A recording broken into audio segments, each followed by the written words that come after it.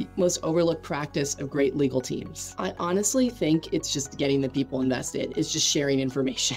That little piece, if you just take the time, and that's what's always really hard.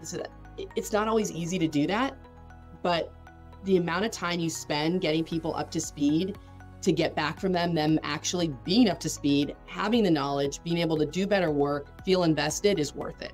My advice is even when things are really crazy, and you feel like you cannot bear another minute, it's just faster for you to do it yourself. Stop and take the time, put in the time because it will pay dividends later. That's a good reminder. We work on that internally.